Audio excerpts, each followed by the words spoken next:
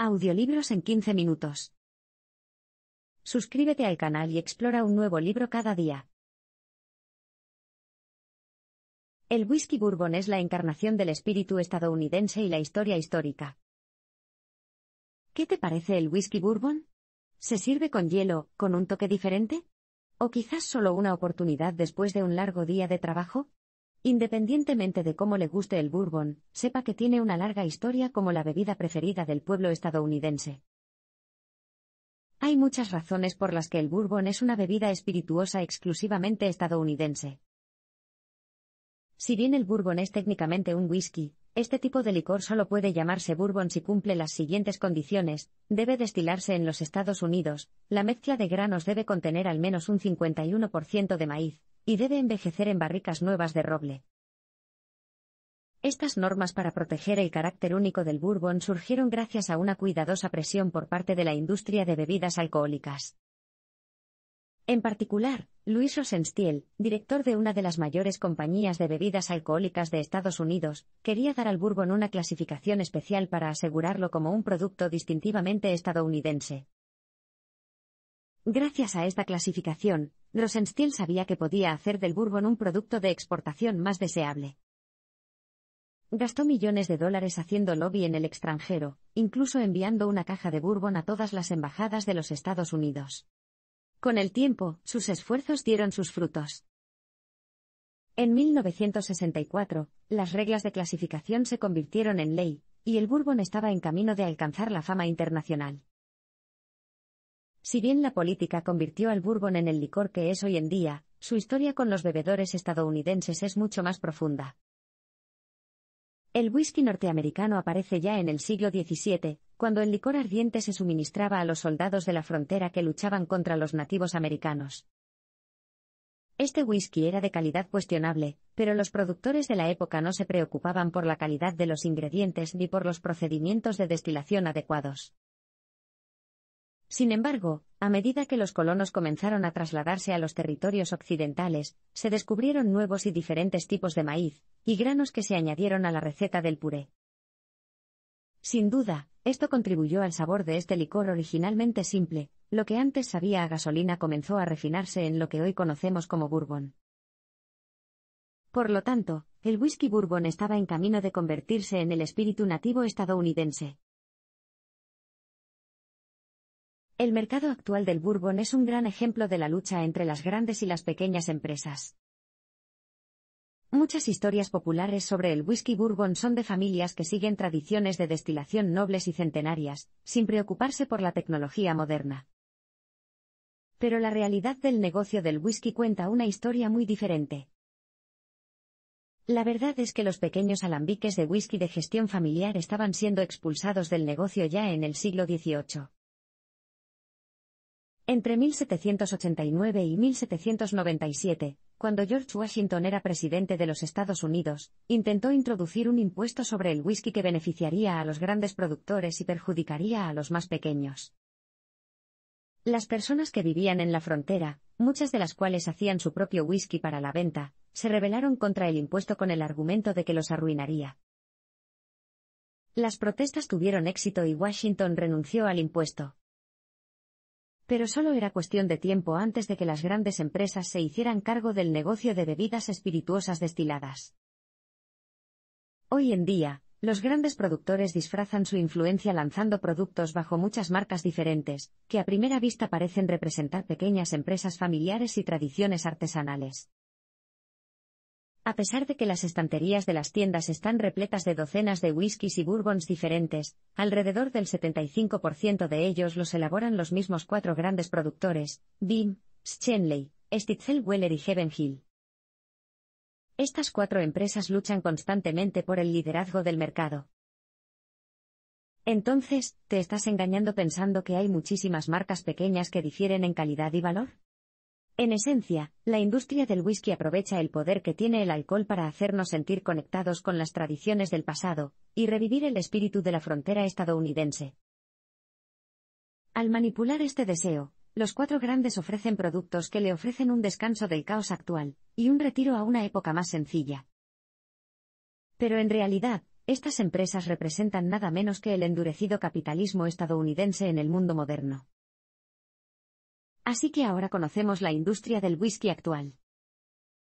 Pero, ¿cuáles fueron sus orígenes? La historia del Bourbon comenzó hace 400 años, con un destilador del ejército en un pantano de Virginia. El capitán George Thorpe fue el primer destilador de whisky de Estados Unidos. Hace unos 400 años, en un pantano de Virginia, se convirtió en uno de los primeros hombres sedientos en destilar puré de maíz para convertirlo en alcohol. Este whisky primitivo tenía un sabor más parecido al diluyente de pintura que al bourbon que conocemos hoy en día. No es de extrañar que esta bebida se enfrentara a una dura competencia por parte del ron caribeño, mucho más sabroso.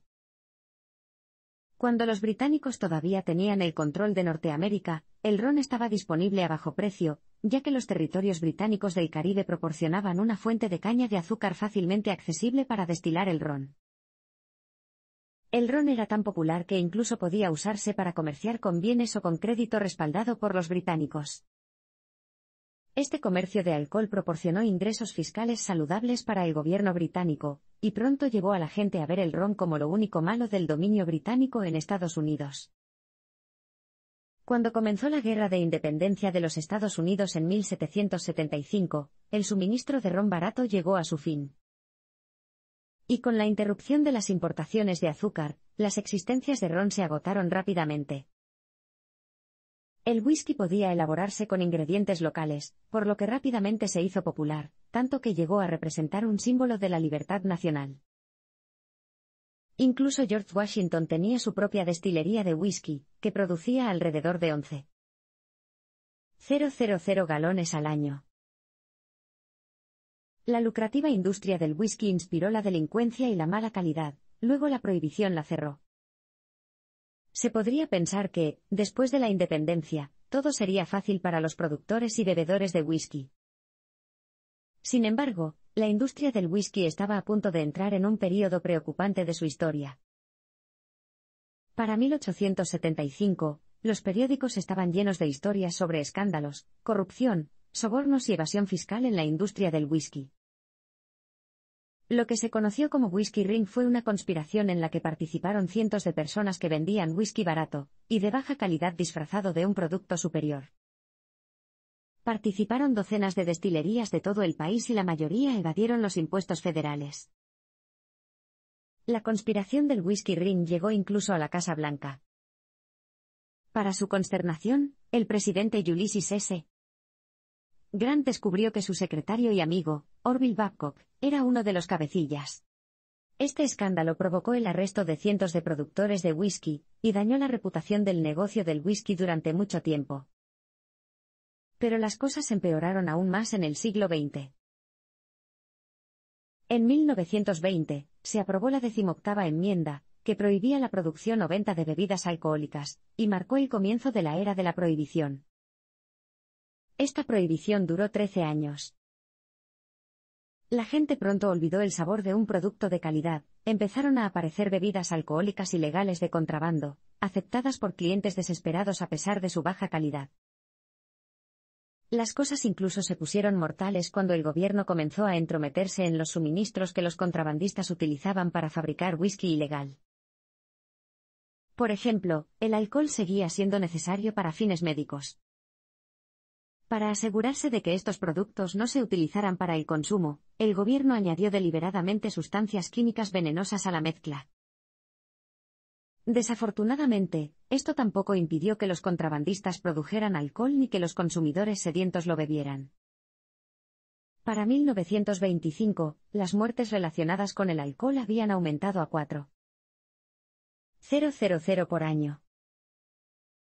Y aunque finalmente se derogó la prohibición, sus efectos en la industria del whisky duraron mucho más que el tiempo en que se hizo cumplir. Tras la derogación de la prohibición, la industria cayó firmemente en manos de los cuatro grandes. La sequía de la prohibición terminó en 1933 y, después, muchos estadounidenses lo celebraron con un vaso de whisky. Pero no se dieron cuenta de que el mundo del whisky había cambiado para siempre. Antes de la prohibición, tanto las destilerías grandes como las pequeñas operaban en los Estados Unidos. Más de la mitad de estas destilerías se vieron obligadas a cerrar después de 13 largos años sin poder vender alcohol legalmente. Incluso las empresas que intentaron reiniciar sus negocios después de la derogación tuvieron problemas y, a menudo, fracasaron. Las empresas que tuvieron éxito en el mercado después de la prohibición fueron las cuatro grandes. Estas empresas tenían los recursos para controlar la industria cerrando la competencia, y comprando o expulsando del mercado marcas rivales más pequeñas. Estas empresas también tenían el capital para lanzar amplias campañas de marketing, lo que supuso el inicio de un esfuerzo de cambio de marca para cambiar la mala reputación que tenían las bebidas espirituosas destiladas que llevó a la prohibición en primer lugar. En lugar de una bebida de baja calidad vinculada a la violencia y la corrupción, el whisky ahora era una bebida de lujo para los entendidos refinados. Curiosamente, dado que hubo escasez de whisky tras la derogación y que el whisky, como parte de su proceso de refinamiento, necesita unos años en barricas, las empresas comenzaron a explorar la producción de nuevas variedades de bebidas espirituosas en la década de 1930. Los destiladores como Stitzel-Weller comenzaron a utilizar trigo para elaborar un licor más ligero que pudiera venderse rápidamente sin necesidad de envejecer demasiado. Tras años de feroz competencia, los cuatro grandes se unieron durante la Segunda Guerra Mundial para ayudar a la guerra con un programa llamado Cócteles para Hitler, para producir alcohol industrial. De hecho, una vez que los Estados Unidos entraron en la guerra, muchas destilerías desviaron su alcohol para fines industriales. Los cuatro grandes incluso colaboraron y compartieron técnicas para ayudar en la lucha. Sin embargo, esta nueva cooperación no duró mucho. Poco después de que terminara la guerra, los cuatro grandes volvieron a luchar entre sí por el dominio de la industria. Cuando el vodka llegó al mercado estadounidense, el bourbon contraatacó atacando el nicho del lujo. El bourbon en Estados Unidos tradicionalmente era una bebida para los obreros.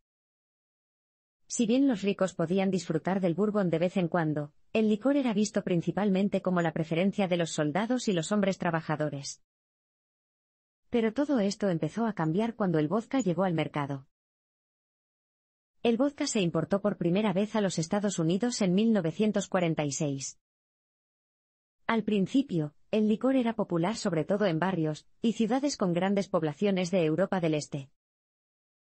Pero pronto la cultura de los cócteles comenzó a crecer, y una bebida se convirtió en una de las favoritas de todos, el Moscow Mule, una mezcla de vodka, lima y ginger ale. Los baby boomers estadounidenses vieron el vodka como una alternativa moderna al bourbon, que ahora se asocia con los padres anticuados y los tíos cuadrados, una imagen que querían evitar. El vodka era más fácil de beber, y también más fácil de mezclar con otros ingredientes en los cócteles. Además, a los alcohólicos les gustaba más el vodka, ya que era esencialmente inodoro y no se podía detectar en el aliento.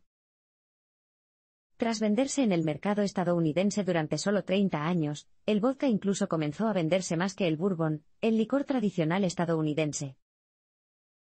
Había que hacer algo, por lo que la industria del whisky ideó un plan, cambiar el nombre del bourbon como bebida de lujo.